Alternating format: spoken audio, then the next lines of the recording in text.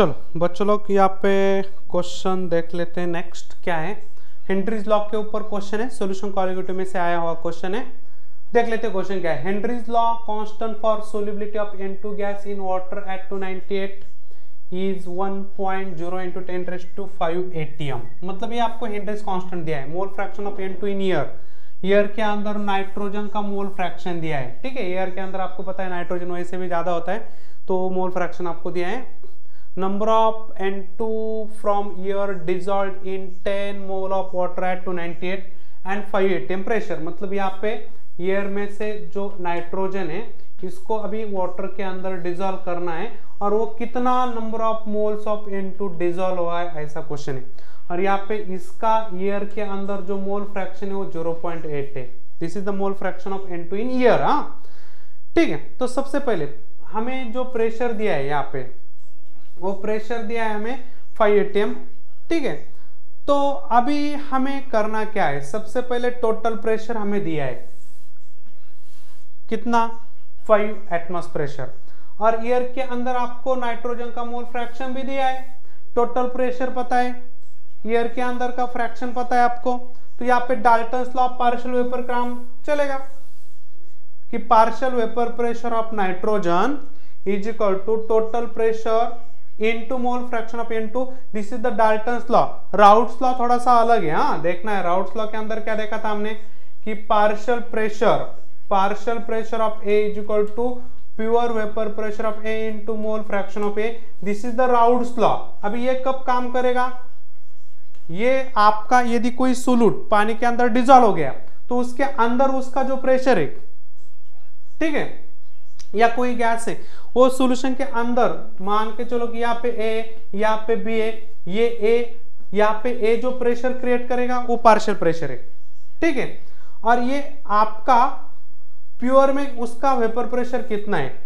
और ये जो फॉर्मूला है, ये आपको कहा यूज़ करना है स्टूडेंट यदि दो ऐसे गैस कि जो रिएक्ट नहीं हो रहे, वहाँ पे आपको ये फॉर्मूला यूज़ करना है, ठीक है? तो ये लिक्विड सॉल्यूशन के लिए, ये आपका गैसेस सॉल्यूशन के लिए ध्यान में रखना है। ये आपका गैस के अंदर का Dalton law partial vapour pressure ये सॉल्यूशन के अंदर का लिक्विड है, ठीक है? चलो तो यहाँ पे ध्यान में रखना है नाइट्रोजन गैस गैस है तो यहाँ पे partial pressure of nitrogen gas is equal to total pressure into mole fraction of N तो यहाँ पे आपका पार्शियल प्रेशर निकलेगा। ठीक है? यहाँ पे आपका partial pressure of N two निकलेगा। तो ये partial pressure of N two निकलेगा। तो यहाँ पे हमारा हेनरीज लॉ क्या है स्टूडेंट कि partial pressure is equal to Henry's constant into mole fraction तो अभी ये फॉर्मूला आपको एनसीईआरटी के अंदर ऐसा दिया है और आपको ये फॉर्मूला ऐसा भी है। तो अभी यहाँ पे ये फॉर्मूला नहीं यूज़ करेंगे क्योंकि हमें सोलिबिलिटी के टर्म में नहीं दिया है। सोलिबिलिटी के टर्म में पूछा नहीं है, ठीक है? तो हम बिल्कुल ये फॉर्मूला यूज़ करेंगे। चलो तो अभी यहाँ पे कैलकुलेशन करना है फिर। अभी आपको पार्शियल प्रेशर निकल आया है यहाँ पे, ठीक है? 0.8 पॉइंट एट इंटू फाइव तो ये आएगा आपका 4 एटीएम तो ये आएगा 4 यहाँ पे हेनरीज कांस्टेंट दिया है आपको 10 raise to five ten raise to five, ठीक है? इन टू एक्स तो यहाँ पे एक्स मतलब मोल फ्रैक्शन है। और मोल फ्रैक्शन ऑफ़ यहाँ पे एन टू तो यहाँ पे क्या आएगा? Four divide by ten raise to five है तो ऊपर जाएगा माइनस फाइव बनेगा।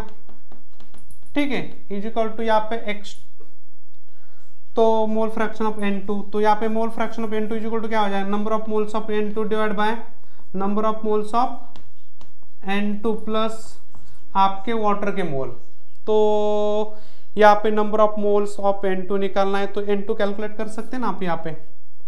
निकल आएगा, नहीं आएगा? तो एक बार कैलकुलेशन देख लेना है। तो ये कैलकुलेशन आ रहा है आपका।